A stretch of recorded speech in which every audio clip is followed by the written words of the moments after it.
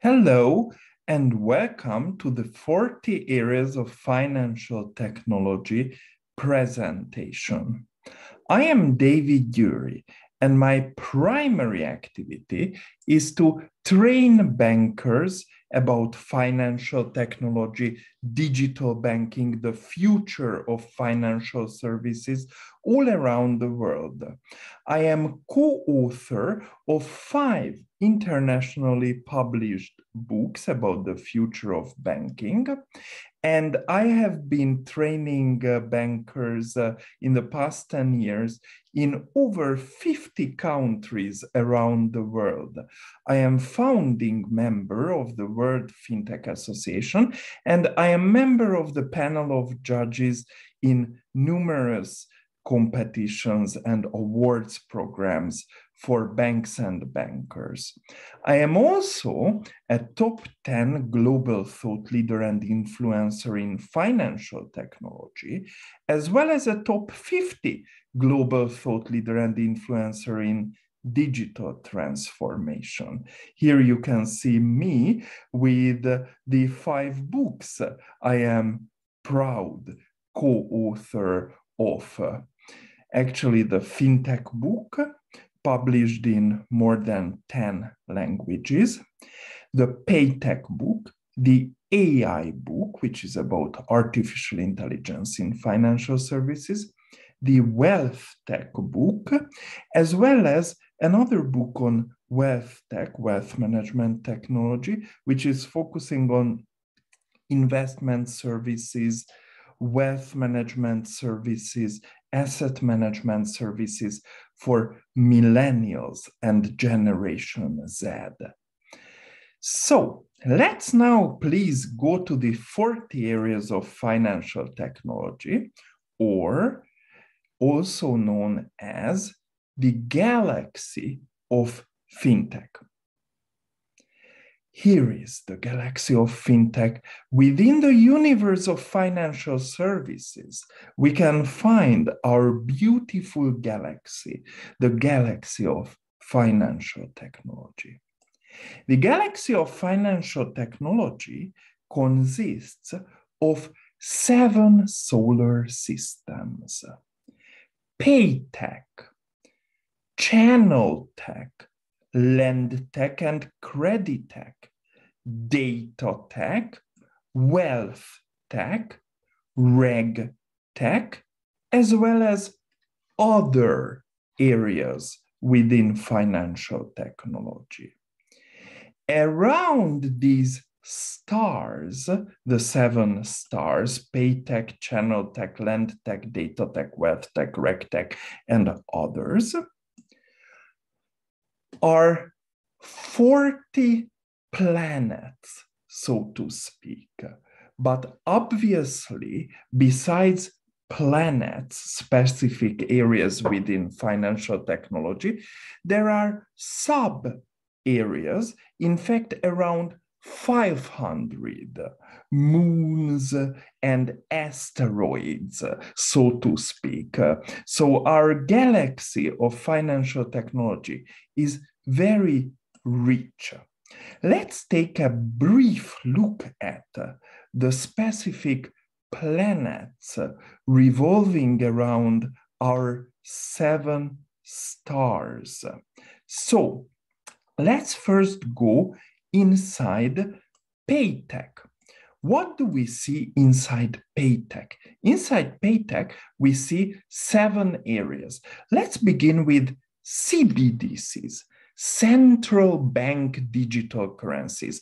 CBDCs are extremely important because when we are criticizing cryptocurrencies and when we are seeing excessive risk taking and certain red flags within cryptocurrencies, we immediately have to think about the future. Where will all this amazing innovation precipitate? How can sovereigns, states, independent central banks harness the power and innovative genius of cryptocurrencies? Well, the answer is CBDCs and large central banks around the world, from the Federal Reserve to the um, uh, European Central Bank, from the Bank of Japan uh, to the Swiss National Bank, and beyond, um, the major central banks are working on it. But there are many, many question marks around central bank digital currencies. Uh, for example, one of the major question marks is how to construct these central bank digital currencies. Do we first want to construct a local circulation CBDC or a cross-border circulation capable CBDC? Do we want central bank digital currencies to run on distributed ledger technology? Or do we want them to run through more traditional central counterparty clearing systems? And there are many more question marks. For example, can we create programmable parametric money, so to speak, central bank digital currencies with smart contracts in the background? Number two is mobile wallets. Mobile wallets are extremely important because mobile wallets will probably make bank accounts, bank accounts as we know them, obsolete. And probably mobile wallets will make bank accounts obsolete through an almost perfect textbook case cycle of market disruption. Clayton Christensen, the legendary professor of Harvard Business School, would be very proud to see this cycle, this textbook case of disruption. Of course, such a process is rather slow. It requires decades, not only years or months, but it is happening. And to a certain extent, it does make perfect sense. Number three, smartphone banking. Well, think through how many different ways we can use our smartphone in banking. Think through how how important smartphones are to run mobile banking applications and how many additional other ways we can use and we do use our smartphones in financial services. Number four, messaging, clearing, and settlement technology. SWIFT, the current global interbank messaging system, well, SWIFT is basically trying to renew itself. One of the results of this effort is ISO 20022.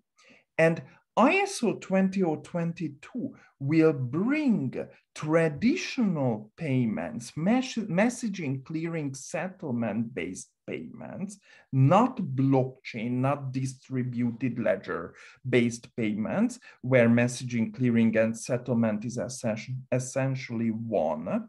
So traditional payments to a whole new level and it's happening we are uh, it's happening in cross-border payments through iso 20022 but even more it's happening in local clearing payments, real-time clearing, de facto free payments. These are very important things. And these improvements, these innovations, which are originating from technologies, will basically change the structure of the market of payments. Number five, remittances. There are currently around 200 digital only remittance services providers globally. One of them a well-known one, is TransferWise. Think through the success of TransferWise. Think through how it's cutting through the noise. Think through the analogy of payments and telecommunications. The way payments are heading to a zero cost base, uh, uh, essentially uh, free service, and how this follows the pattern of phone calls. If you want to make international calls, you now do it free with WhatsApp or WeChat or uh, Messenger. Uh, doesn't matter how long you are calling, doesn't matter which two countries you are uh, uh connecting. It's de facto free. Anyway, number six, micropayments. Micropayments are underestimated in terms of their importance. Micropayments are based on the assumption that payments will de facto become free and instant. And if payments are free and instant, the increments of payments will change. It will not be uh, like bulk payments, like we pay monthly rental fee or monthly leasing fee, and we receive annual interests on our savings. But, uh, but um, the flow of money will granularly uh, follow the flow of time. So probably we will pay for our leasing, for our rentals uh, on a daily automated incremental basis. We will pay for services on a second or millisecond measured on-off basis and so on. Number seven, POS innovations point of sales terminals. The entire point of sales procedure is under siege and it's changing. Um, if I were Visa or MasterCard, I wouldn't be so calm. Uh, there is major disruption going on and incumbent players such as Visa and MasterCard are almost always late to discover this level of disruption. Think about the POS terminals essentially turning into soft POS and virtual POS terminals, the POS terminal and smartphones essentially melting into one, and then take an additional step and think through how I began to explain the solar system of payments technology by mentioning the fact that mobile wallets are basically disrupting the underlying bank account as a whole. And also think through bank account to bank account payments within the wider logic of open banking and payments services directive 2 when we think about the European Union and obviously open banking in a UK type of terminology, uh, but it's also going on in Australia, uh, North America, and many other jurisdictions. So anyway, uh, Paytech is an amazing solar system and a very important solar system to keep our eyes on. Please allow me to move to our second solar system, Channel Tech. You know very well that in banking channels, we are in a monotonous growth period. The number of channels is growing. Old channels are staying with us while newer channels are emerging. So the total number of potentially meaningful banking channels is monotonously growing. Let's look at augmented reality. Augmented reality is the physical reality augmented by an additional layer of digital information on top. Or let's look at virtual reality. Virtual reality is entirely imaginary, entirely digital. Many banks and an increasing number of banks globally are starting to use augmented reality and virtual reality as new emerging channels currently. But there is something beyond virtual reality, different, separate, scattered patchworks of virtual reality can all come together and create something bigger, something more important, something truly transformative. And that is the metaverse. And metaverse banking is in a nascent state, but it's there. And it will come and it will grow, and all sorts of financial services will have their, so to speak, digital twins, their digital reincarnations within the metaverse. And this will be truly transformative. Think about metaverse real estate. Metaverse real estate. And it's going on and it's meaningful. Anyway, number 10, voice banking. Think about Alexa or Siri. It's especially popular in the United States. Voice has essentially uh, emerged uh, in and, and, and grown into a new banking channel. And guess what? We can do much more with the voice than we currently imagine. There are many, many more opportunities here. As artificial intelligence is creating stronger and stronger, smarter and smarter, more and more capable and interactive back engines behind these voice assistants, so will grow the importance of voice as a channel. In number 11, wearables. Think about how many uh, different wearable devices are circulating around from smart glasses to near field communications NFC technology propelled payments rings from smart bracelet to health tech propelled smart watches. So wearable technology will have a growing role within financial services. Video banking, well, video banking sounds less than the most innovative technology circulating around.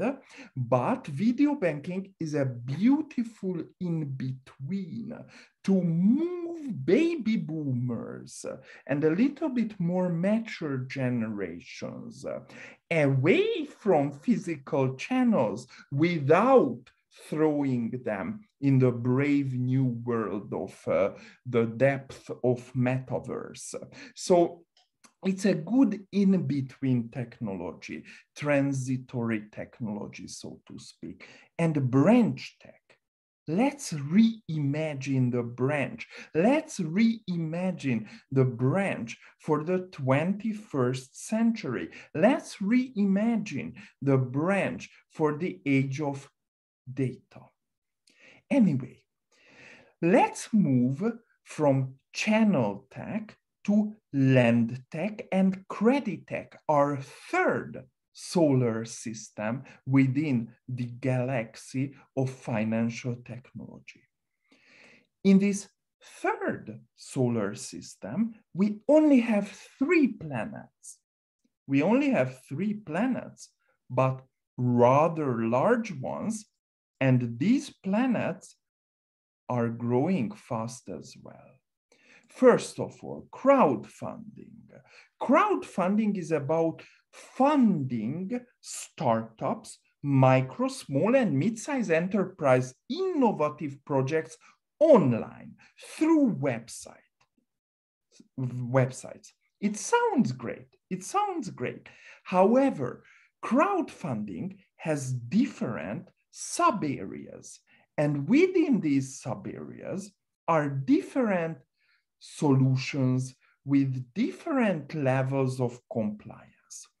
And all in all, equity crowdfunding, taking equity ownership in risky yet innovative new startup projects is a double-edged sword. Uh, when it goes uh, to the general public, it's almost like an IPO. It's almost like initial public offering. And there are question marks there.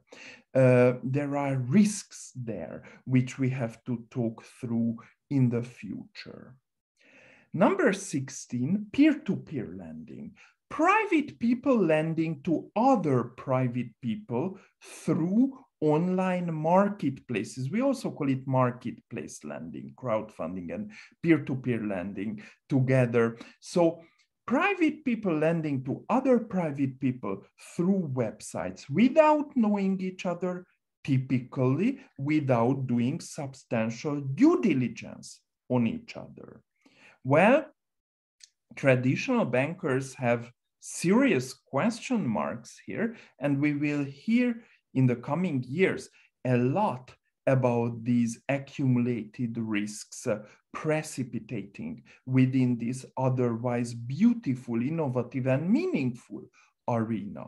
And let's look at the new labeling of the financial technology world, BNPL, buy now, pay later, a highly controversial online purchase intertwined, online purchase linked methodology of lending, very often de facto originating from financial technology providers registered and supervised in the legal form of e-money, electronic money institutions. So typically BNPL providers are not supervised as CIs, credit institutions, or so to speak, to be a little bit more specific, uh, fully licensed uh, banks. And this in itself raises uh, a plethora of question marks. Let's move to the fourth solar system, the solar system of data, data tech. And let's first take a look at IoT, Internet of Things. Internet of Things is about everything being connected with everything else real time uh, uh, using the internet around the world. Billions, tens of billions, or even hundreds of billions of sensors, microchips, devices, machines, entities, real-time connected globally. Well, this will raise the entire legal question of machine as an entity, machine liability, um, machine committed things, as well as machine to machine banking. But let's just think through IoT this way. 5G, which at the top of its capabilities will be two, three magnitudes faster than 4G used to be, is absolutely in the pipeline, partially delivered in certain parts of the world. But 6G is coming which will be much, much faster than 5G. So the entire data highway will become magnitudes wider and faster, and that will lead us to the age of very big data or ubiquitous big data. That is area number 19.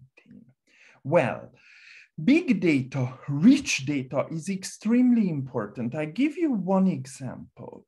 Uh, in area number four, in the solar system of payment, one of the planets is messaging clearing and settlement technology. And I told you that Swift is working on ISO 20022, which, which is a solution essentially for rich payments, carrying much more data than traditional payments. You can even attach files, pictures to the payments. You can give much, uh, much more extensive commentary. Uh, there is much more information, geolocation, for precise geolocations. For example, linked to every single payment. Think through how valuable, rich payments data will be, but that is just a granular, teeny, tiny segment of the super big data that is descending upon us.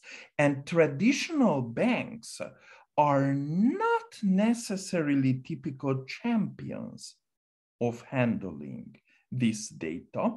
Technology giants, Google, Apple, Facebook, Amazon, Baidu, Alibaba, Tencent, and a couple of other players globally are the typical masters of big data. So we bankers have to catch up. Number 20, interbank blockchain, distributed ledger technology connecting banks with other banks transactional databases, robust databases, um, cryptographically protected databases between banks, where this is very, very exciting. And you have to know one thing. When we look at the technology of interbank blockchain, uh, it in fact raises the level of compliance and cybersecurity compared to current paradigms as opposed to cryptocurrencies. Cryptocurrencies and blockchain are sometimes intertwined in the mind map of uh, decision makers and analysts, which is a big mistake, uh, as opposed to cryptocurrencies, which are very problematic from a compliance uh, risk uh, and uh, uh, cybersecurity uh, point of view. So let's detach these two things, blockchain and uh, cryptocurrencies. Anyway, interbank blockchain uh, has 30 major areas within, for example, trade finance, for example, interbank clearing, for example, Forex on blockchain, or digital identity on blockchain. Uh, and within these 30 major areas inside interbank blockchain, so 30 moons circulating around this planet, there are also many, many asteroids in the system, even smaller sub-areas. Number 21, back office blockchain how banks and other large organizations around the world will put their own back office operations on distributed ledgers for the sake of better data management, more robust, more secure, more practical uh, storage and architecture of data. For example, smart contracts belong to this area, parametric, self-executing, uh, uh, coded, uh, dynamic uh, contracts, uh, and more, much more is in the pipeline. Well, our 22nd planet in our galaxy of financial technology is nothing smaller than AI, artificial intelligence. Well, we have to think through how big data, our 19th planet, fed into real-time neural networks of uh, non-linear mathematic uh, functions, basically artificial neurons, uh, and layers of these artificial neurons, essentially deep neural networks, can create the beautiful results of narrow AI or area specific artificial intelligence, as well as uh, machine learning and deep learning. and how this is fundamentally different compared to AGI, artificial general intelligence, which is something very controversial, which will lead eventually to machine superintelligence once it emerges. And uh, singletons can emerge through the technology of artificial general intelligence, as well as the entire humanity can reach the point of singularity, which is the theoretic point of machines and humans being equally intelligent. Anyway, dealing with all this as a traditional bank is a lot. So we have to be selective here. We have to understand what AI means to us, how we can use artificial intelligence to enhance our tactical moves as a bank and to fulfill our strategic goals better. Let's move to planet number five, the beautiful planet of wealth tech, wealth management technology. And uh, apologies, the beautiful solar system of wealth tech, wealth management technology.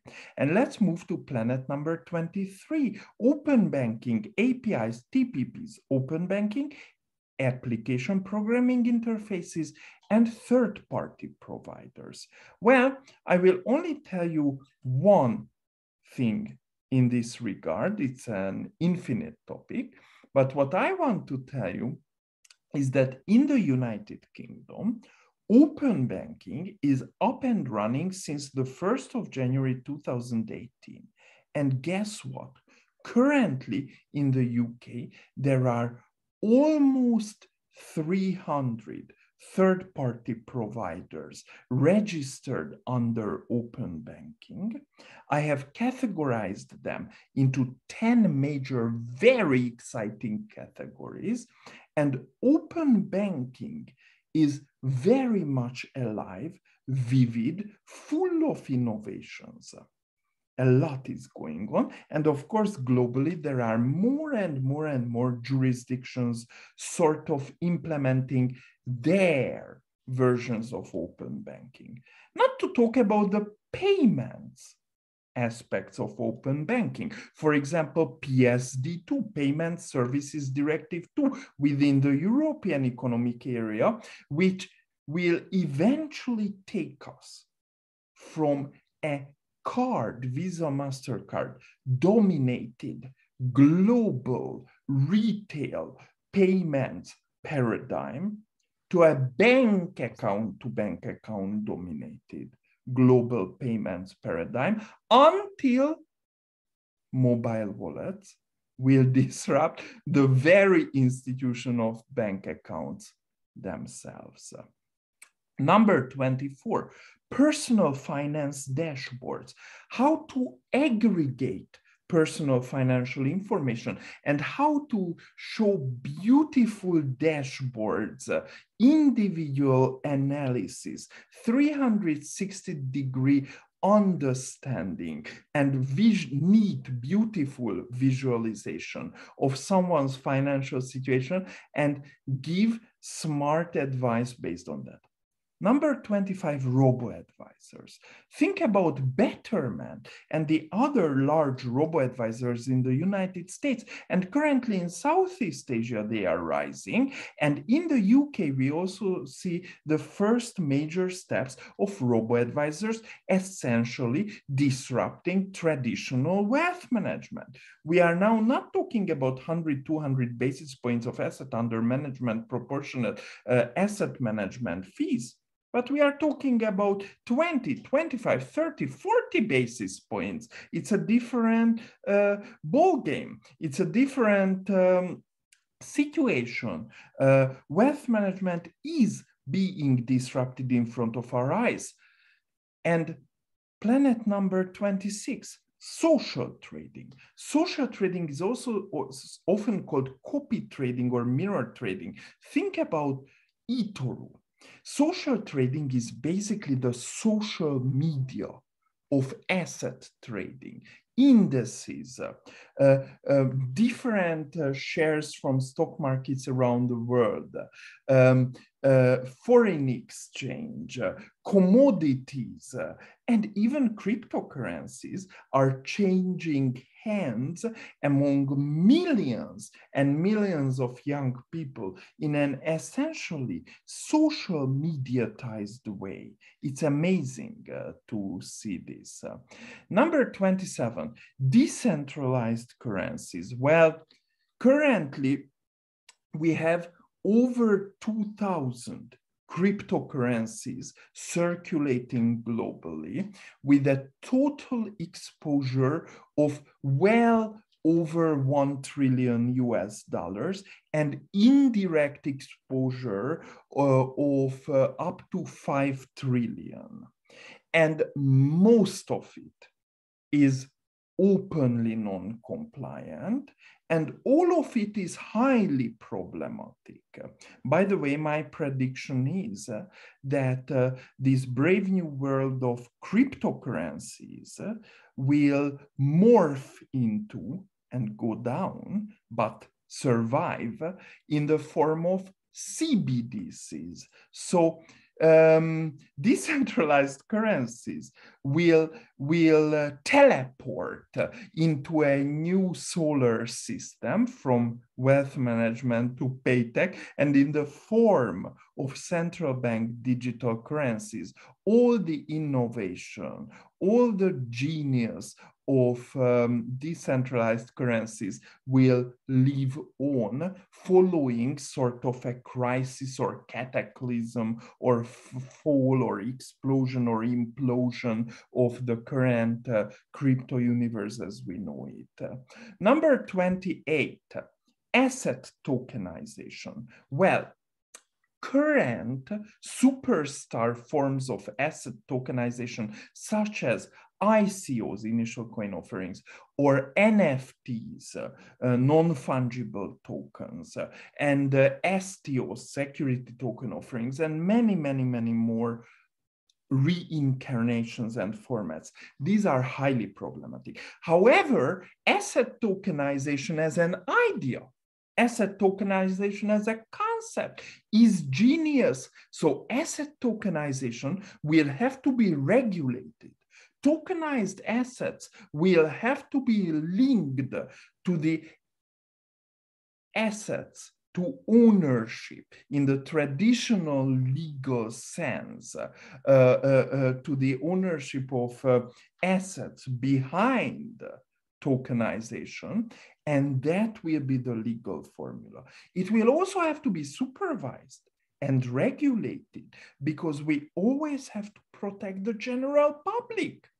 There is a lot of fraud going on here. And we have to only let people invest into things that reach a certain quality, uh, a certain minimum.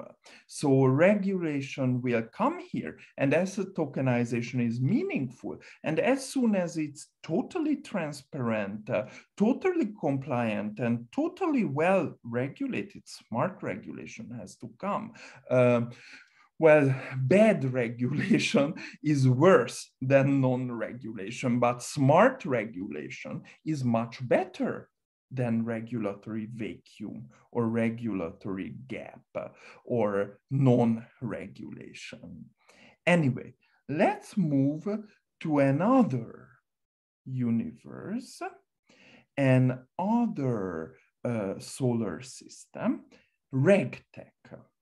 RegTech is our sixth star, and RegTech consists of six planets.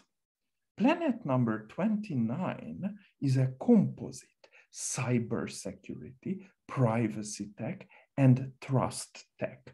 Think through all these 40 technologies I am listing on this slide, the entire galaxy of financial technology is full of risks. Every single new technology has its own set of new risks rising. And we have to somehow understand, analyze, measure, and mitigate these risks, even regulate them. So the Basel Committee will have a of work in the upcoming new uh, paradigms. We are now at Basel 3 and 4. I am now talking about Basel 5 and 6. Planet number 30, Risk Tech. Risk Tech is about technology helping to manage risks. These are solutions making risk management faster, cheaper, more precise, more intelligent. Area number 31 is compliance tech. Compliance tech helps banks around the world to comply with regulatory requirements. You as a banker know very well how heavy, how expensive burden full compliance is. And compliance is, compliance is becoming ever more complex and costly. So technology helping you, making it faster, cheaper, more reliable to comply is a blessing. It's very important. Compliance tech uh, is an emerging area. Number 32, SupTech. What is this SupTech? SupTech is supervisory technology. These are solutions for supervisors, regulators, central banks, authorities to better regulate you, to have real time red flags being raised, to use artificial intelligence to indicate the potential next great scam before it happens or before it becomes too big to fail. Number 33, biometrics. From your iris to your face, from your veins to your heartbeat, from your voice to your DNA, from your ears to your hand, from your gait as you walk, to the rhythm of the gyroscope of your smartphone. There are more and more technologies to identify people. And these technologies are double-edged swords. Of course, it's a little bit scary, but also very useful. And just like a knife, we can use it for something very good. And unfortunately, sometimes it's used for bad things. So just like a knife or a double-edged sword, we have to grab it and use it for the right things. There are great potentials here. Seamless, continuous behavioral identification, for example, to mention one. Number 34, digital identity. I think the 2020s will be the decade of digital identity. Yes, why? Because strong digital identity is the missing piece of the puzzle. States are reluctant to set up strong national digital identity regimes. Why? Cybersecurity. And uh, still strong digital state-backed bank level digital identity regimes are very much needed. Basically, in this COVID period, one of the key lessons we have learned is that this is the missing piece of the puzzle very well built, very swift, very smart, very modern, very robust, and crystal clear digital identity is needed for the next generation of internet. Think about profiles, pseudo identities, uh, the whole nature of cybercrime, and you will understand that the benefits of strong digital identity are huge while the risks and the problems originating from not having such regimes typically, there are some exceptions, uh, but not having those regimes typically cost directly and indirectly a lot. Okay, let's move to our seventh star, others, other areas. So let's first look at neobanks. Well, neobanks, challenger banks. What's the difference between neobanks and challenger banks? Neobanks are basically regulated as e-money, while challenger banks do have their banking licenses. Neobanks and challenger banks are typically digital only, typically mobile only, much, much, much more simple than traditional banks in terms of their channel technologies. They are only focusing on the emerging channels, the new channels. This attracts young people. This creates a new cost structure, uh, set of revenues, as well as set of costs. And actually, some of these neobanks and challenger banks are reaching economy of scale. For example, Nubank from Brazil, um, or Starling from the United Kingdom. And this is, uh, or, or WeBank from China. And this is a very interesting uh, process. These neobanks, these challenger banks, are much more flexible, much more nimble, much more up to date than traditional incumbent players. Why? Well, let's look at planet number 36, core banking core banking technology. Banks and bankers in the 25,000 traditional registered, uh, licensed, uh, approximately 25,000 active banks around the world are struggling, struggling with legacy. And legacy primarily manifests in the form of legacy core banking systems. Why? Because once you are in it, it's a very, very, very, very tough, near impossible to get rid of it. We call it changing engines mid-flight, fixing your motorbike while riding it, operating your own art, things like this. And, you know, uh, it's really like that. So one of the major questions is how large, complex, up and running incumbent financial institutions can totally renew their core banking and move to market leading competitive new paradigms.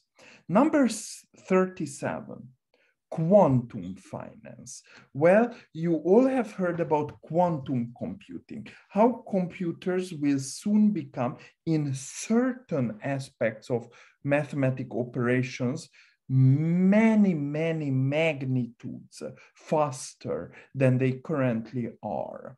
This quantum computing will have fundamental effect on financial services as they are now. This is why we are talking about quantum finance, in risk management, in cyber security, uh, in wealth management, uh, in new channels, in handling data, it will have fundamental effects that now we are able to create computers and we are increasingly able to create uh, functional computers uh, on a subatomic level. Number 38, ESG tech, environmental, social, and governance technology. Very, very important.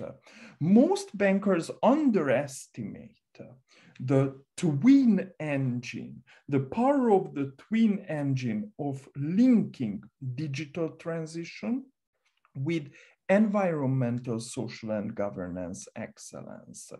When you do something that transforms you digitally and helps the society around you, you are moving two needles. And uh, that's very, very beautiful to uh, link these two things.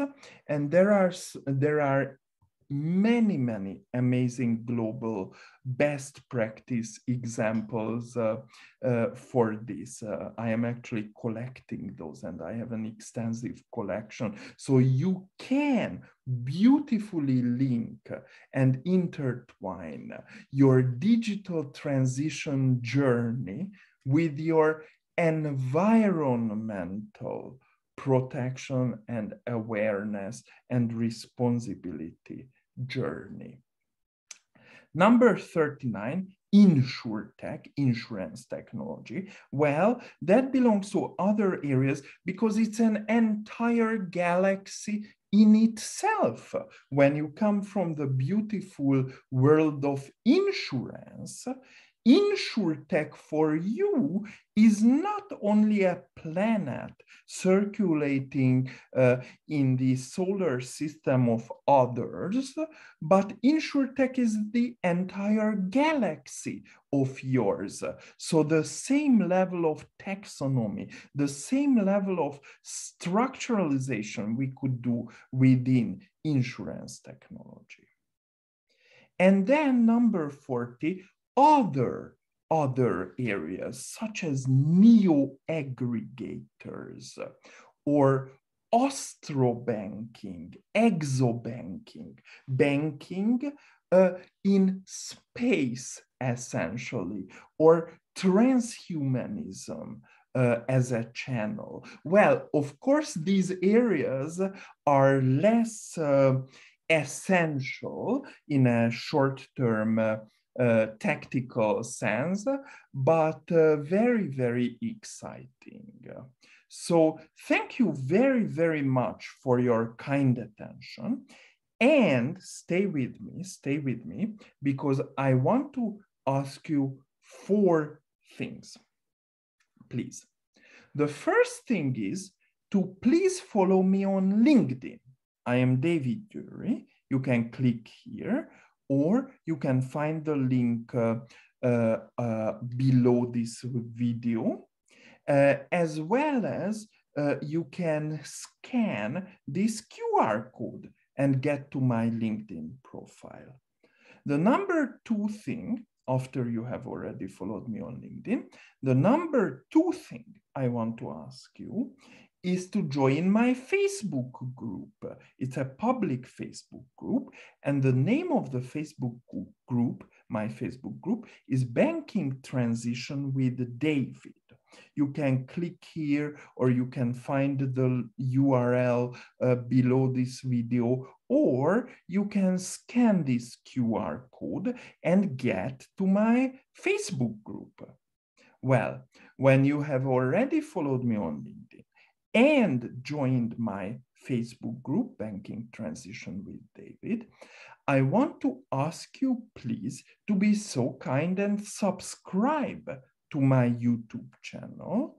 Well, uh, you go to the right side below this video and you can see this red subscribe button. Again, look to the bottom right side to find the subscribe button. And also you can get notifications when I put my new videos here. And trust me, a lot of exciting uh, things uh, about the future of banking are in the pipeline. And number four, I want to explain you something. One of my core activities is to provide training programs about all these about fintech, about digital banking, about banking innovation to bankers all around the world.